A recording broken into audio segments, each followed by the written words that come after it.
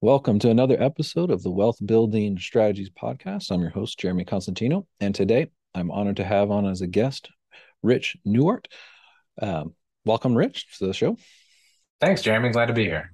All right. So, Rich is a United States Air Force veteran uh, and former air traffic controller. Former or still air traffic controller? Still air traffic controller. Wow. Okay. And uh, you have um, invested in um, multifamily real estate and now co-owner, co-GP in over 600 units. Yeah. So again, welcome to the show. And um, I guess let's just jump right on in. You're uh, how, how are you full time or are you full time air traffic controller?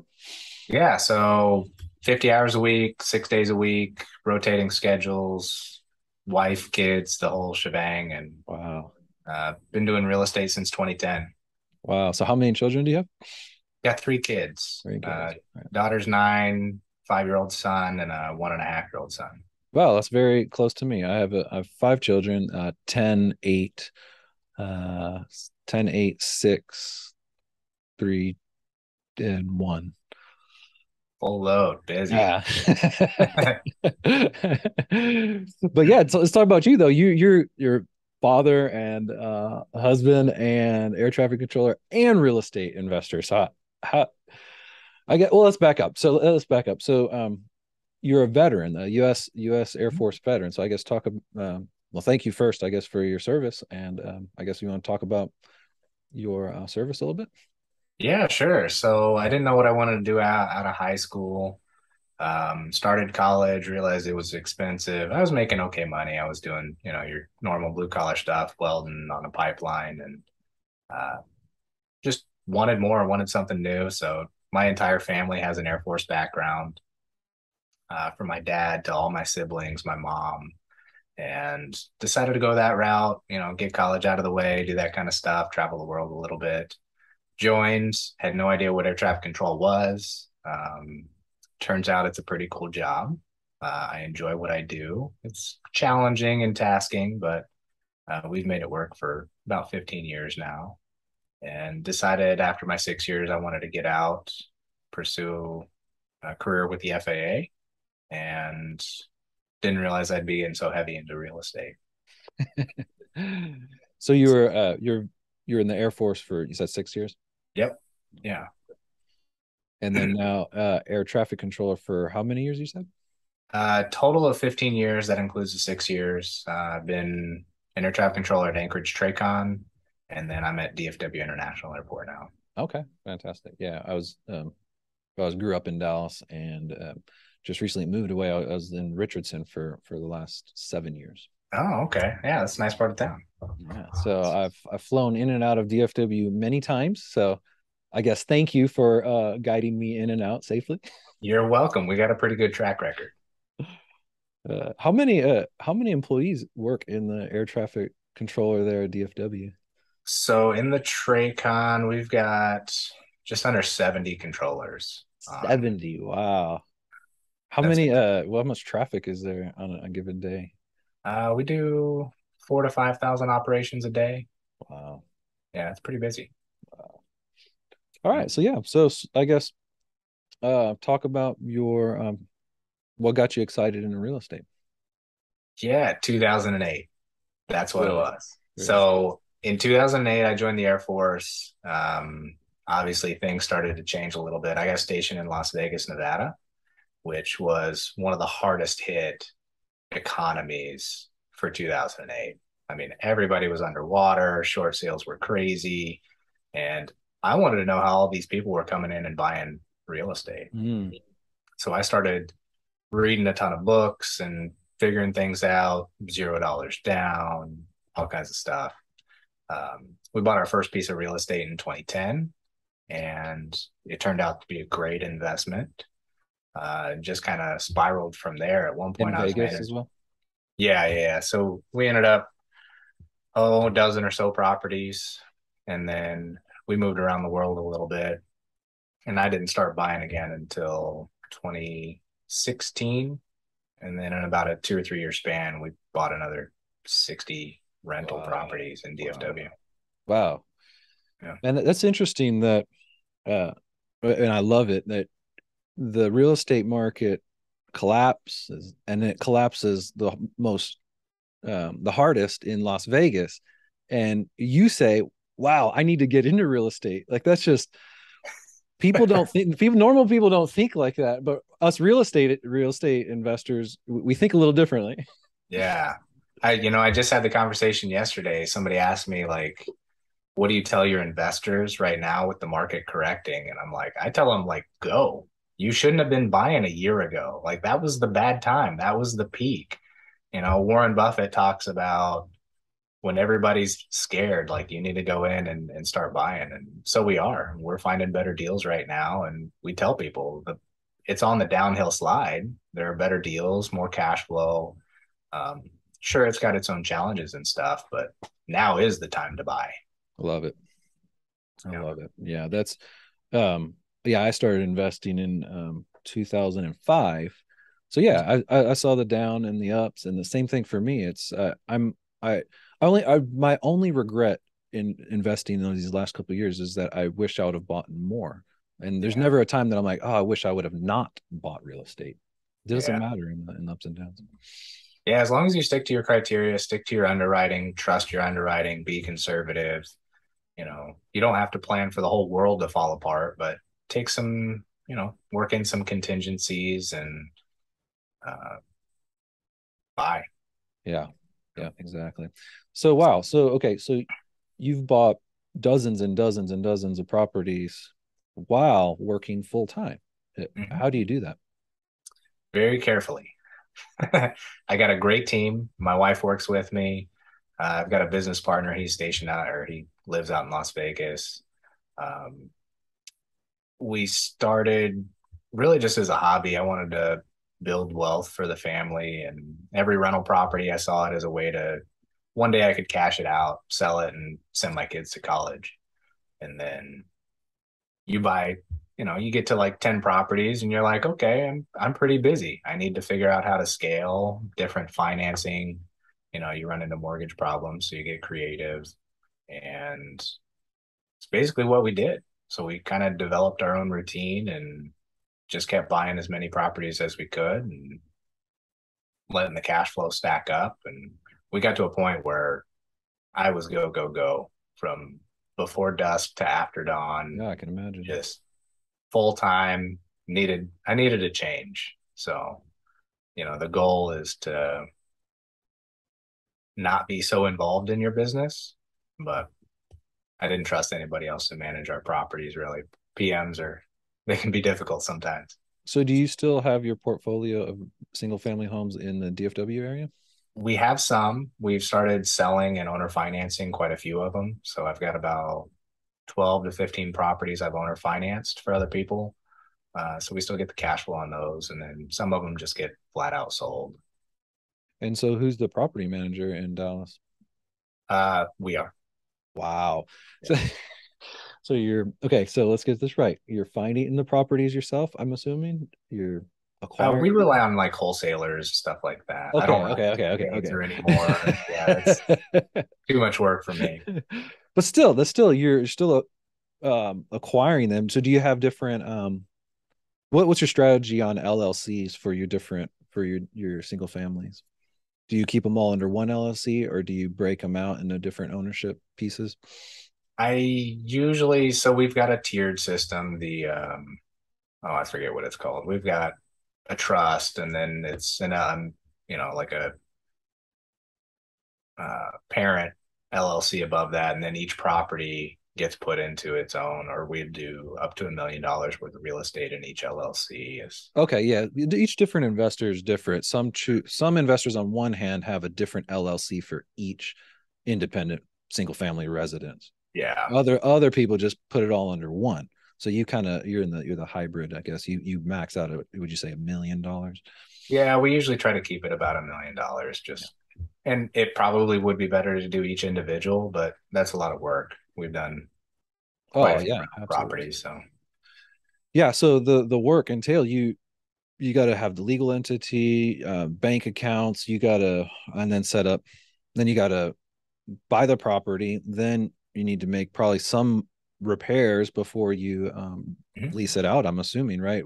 What's your strategy on um, make ready? Yeah, so we buy a lot of stuff that needs work. People that just haven't tended to their properties. We've been a little bit slower buying lately. Uh, basically, we've shifted full time into multifamily. So I'm not necessarily acquiring anymore. It's more just liquidating or owner financing my right. portfolio. But I love coming in doing renovations. I'll do. We've done it up to hundred thousand dollar renovations on some properties. Uh, usually four or five hundred thousand dollars or less is kind of our our sweet spot. Got it. We like the two hundred thousand dollar range, but those are getting harder and harder to find. Oh yeah, especially. Um, yeah, go in, do some renovations, bring them up to market. We're not doing flips or anything like that. It's just give somebody a great place to live yeah. uh, that otherwise wouldn't be able to live there and try to stay out of the ghetto a little bit. Um, yeah. Yeah, I'm just I'm trying to wrap my mind around this because in from what I've seen and, and even my personal experience doing what we're talking about, that's good 20, 30 hours a week. I I don't know how you did that and have full-time job. like I said carefully, we're I am blessed. So when I when I go to work, you know, let's say I'm I'm unreachable for four to five hours. That's when I'm actually talking to airplanes. The other three, three and a half hours, I'm able to take phone calls, um, set up systems, processes. We run a lot of like email campaigns. Um, we, you know, dealing with my contractors. I'm always chasing my contractors around or something like that. So even while I'm at work, I still have that time, that flexibility to take care of the things that I need to do. All right. So yeah. So I guess talk about the the switch and the focus to now uh, multifamily. I guess how did that come up? Yeah. So 2018, I was looking for a really good way to network with people that could maybe fund some of my single family stuff. And I went to, uh, it was called the Fire Summit and it's a local mentorship uh, group called Think Multifamily. Fantastic group. I've been a part of them for two years now. Um, met Mark, the owner, met a lot of his people that he does business with, and really got sold on multifamily. Why it was great. Why, you know, I fell in love with the numbers. How analytical everything is. Evaluate the deal, finding the deals. I I really love finding deals. It's so much fun to to find the value that you can add that other people aren't doing. Right. And 2018, I wasn't 100% sold on it. I started really educating in 2018. We didn't buy our first property until 2020. Wow. Okay. Yeah. That's interesting. You know, um, a lot of people that are just starting out in real estate, they always ask, okay, Jeremy, what, what do we, what do I do first? And I always say, just start reading the books, start listening to the podcasts, yeah, uh, start educating yourself. And so, yeah, you're saying, wow, almost two years of just soaking in information. Yeah, I wasn't. It was everything's a mental game, right? It, it's what we think about ourselves and what we think about what we're doing, and so I had to really convince myself that this was a, a logical step. I didn't think I could raise four or five million dollars, you know, that I didn't believe enough that doing a 20 or 50 million dollar deal was realistic. You know, it sounded so far fetched and right. Um, yeah. So you read and networking's a big part. I love networking. Maybe not in a group setting, but one on one, meeting people, hearing everybody's stories, which right. is a huge part of the entrepreneurial business. Fantastic. Yeah, I going back to what you said earlier about uh, finding deals um, and how you like that. Uh, can you share about your process for looking for properties? Yeah. So I love touring properties. So we find a deal. Uh, usually, I guess we can go even before that. Finding a market that you want to be in, whether it's an already hot market or a market that's coming up. You spend a lot of time doing that analysis before you ever start calling brokers and you know touring properties. But once you get honed in on a market where you want to be, we've got some secondary and tertiary markets that we really like. For instance, Warner Robins, Georgia, you know, probably closer to a tertiary market than anything, but we've had a lot of success out there. And then there are other markets that sell themselves: Atlanta, uh, DFW, Houston, Corpus. Oh, so you, so you're looking outside of uh, the Dallas area. Yeah, we do. Texas and Georgia are major markets, and um, we've got primary, secondary, and tertiary markets in in each state that we look at. So, what tools do you use to search, and uh, what platforms? Um, as far as you are you in CoStar every day? Are you um, what um, are you working with brokers, wholesalers? Uh, not so much wholesalers. I really don't feel like wholesalers in the multifamily space understand what's going on. Honestly, uh, we just haven't had any luck. You know, maybe I don't have those connections yet, but we do have a lot of great success with brokers.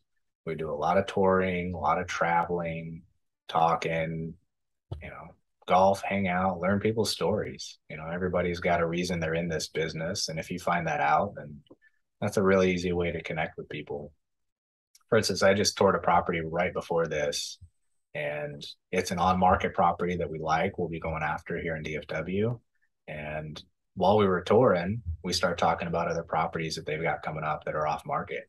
Nice. So that's a lot of our that's a lot of our deal flow. You know, maybe I'll take a thousand dollar trip to Atlanta, Georgia with a broker that I've known for a while looking at one property, but that'll turn into seven or eight property tours in a day sometimes. It's right. crazy. And right. half of them are off market. Right. Mm-hmm. Fantastic. So I guess what's the process after you find something that you like? Um, you want to share some of your underwriting techniques? Um, yeah, so we've got a really great analyzer. It's actually Think Multifamily's analyzer. We modify it a little bit as we need.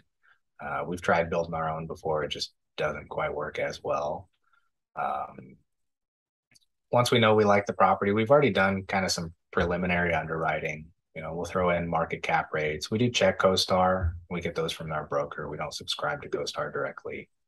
Um, figure out what rent premiums or maybe what the current property owner is not charging for.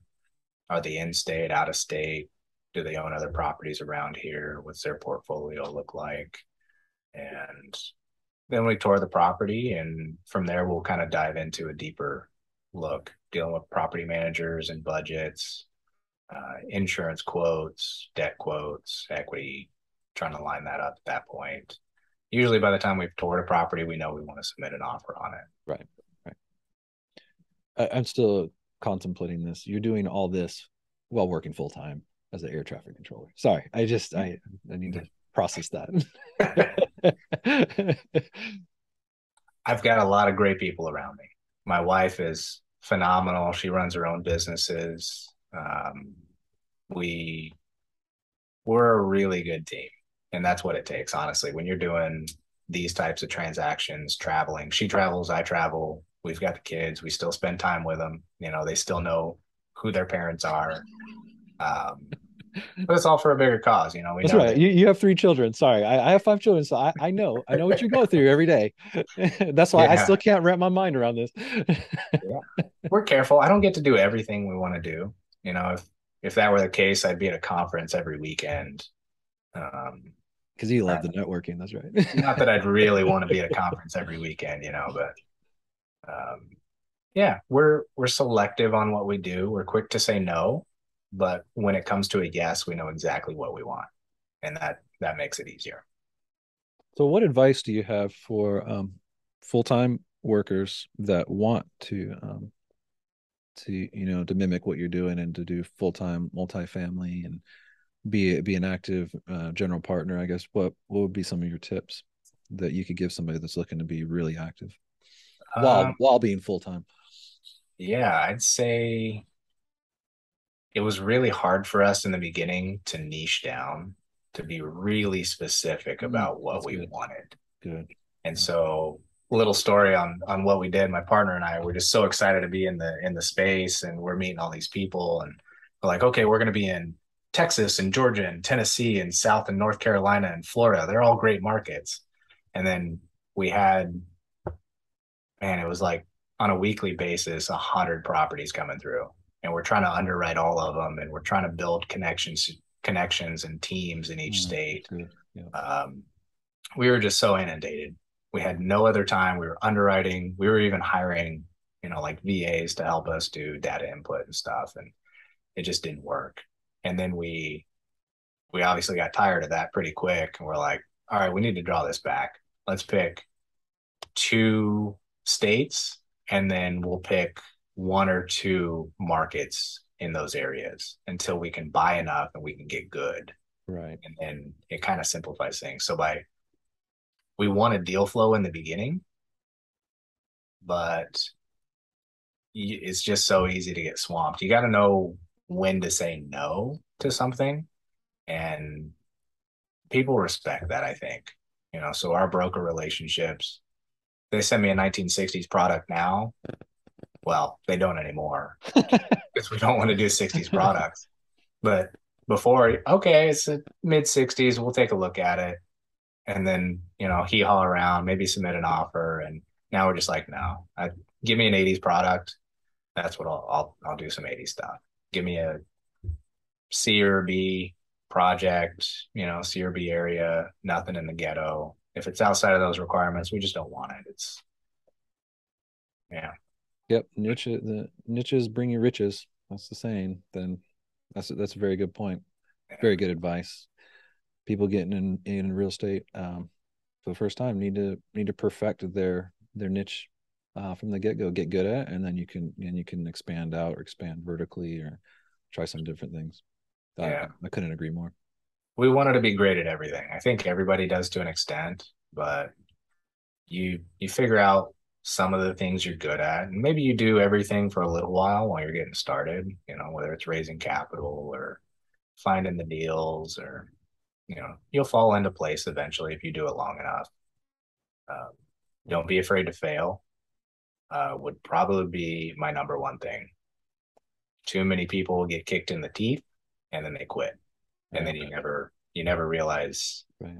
if it, if you could be good at it right. so talk about the the same you know same same question of what would be your advice to a full-time uh, worker uh, what would be your advice of saying you know maybe being an active GP is not right for you, and maybe it's better just to be a limited partner and, and invest passively, and you can be hands off, and you don't have to spend that time. So I guess talk to the potential investors out there that uh, that may invest in some of your projects and say, hey, you know, maybe being an active investor is not right for you. Maybe it's better to be a passive investor. Yeah. Uh, so we've got a couple of I call them full time passive investors. They they run it just like a business. Those guys are awesome. They know the hard questions. They've been in and out of it, but they know that's that's what they do. You know, all of their money goes towards their passive investments, and um, I would say it is difficult being full time W two and an active investor. There's a lot more risks that we take that people don't always see. Um, so you've got to familiarize yourself and get educated on what it actually looks like. It's not all right. roses and rainbows, and you don't close on a property and you're cash flowing a million dollars a year. It just it's a delayed gratification thing, and you have to understand that. So, um, there are ways that you could be an you know take a GP role and be maybe not so active if you have a bunch of capital. You know, risk capital is a, a great thing to put up and can score you some GP points and give you a good shot at maybe you're not directly responsible for the asset management or um, you know taking the lead position but you can get a good look at it uh, you take a little bit of risk and be influential and be influential in some of the key decisions yeah. In the business you know, plan. It, it, at least gets you a spot at the table. Um, asset management's a good one, although I probably wouldn't recommend somebody working a full time W two and being an asset manager. That's those guys are busy, man. We we hire that stuff out. It's I've done it before. I enjoy it, but it is very time consuming and it's kind of babysitting uh, when you're when you're dealing with a value add asset. So Excellent. So what's uh, what's on the horizon for Rich and your and your business? I guess what are some of your goals and where are you guys looking to to do next? Um, so we are working on our capital raise game. Uh, we would like to be able to do four to five million a couple times a year.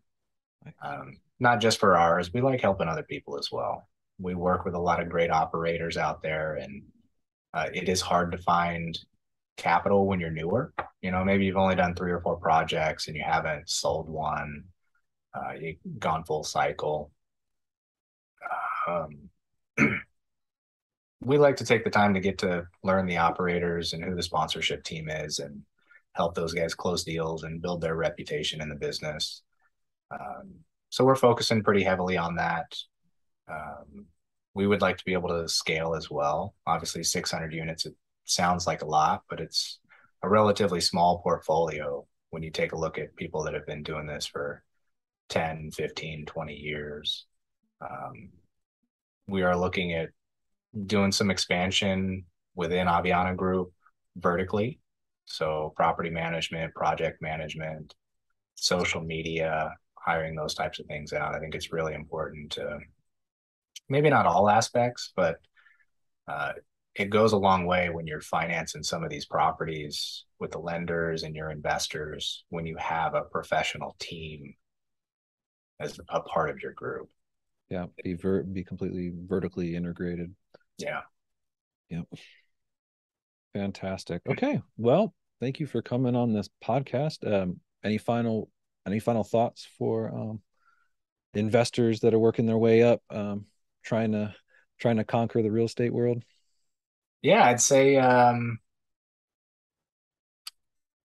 there's a lot of people looking to be active in the space. Like I said, really take the time to learn if being active early in your career is worth it and something that's feasible. Um, there are a lot of very successful people on the passive side. I've met a lot of great passive investors, and honestly, they probably know way more than I do mm. about investing because they've spent the time and the knowledge and they have more time, which ultimately I think a lot of us that's what we're looking for. Right. So don't just shy away from the passive investment because you hear a lot of people talking on podcasts about how successful they are on the GP side. It may not always be true. That's right. That's really good advice. Really good advice. Well, thank you so much, Rich, for coming on the show. And that's a wrap for this episode of the Wealth Building Strategies podcast. Thanks, Jeremy. It's glad to be here. Thank you so much for coming.